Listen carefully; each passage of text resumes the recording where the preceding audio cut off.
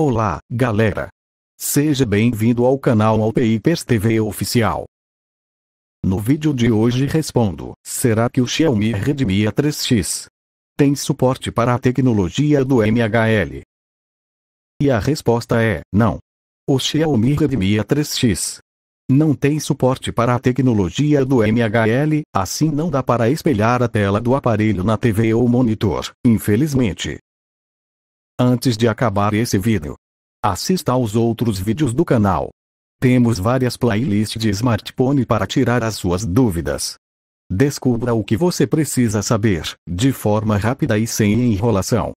Temos playlist do Galaxy S20 FE, Galaxy A02, Xiaomi Poco F3, Moto G60, LG K22 e muito mais. Deixe o seu like aí por favor, e inscreva-se no canal, e até mais.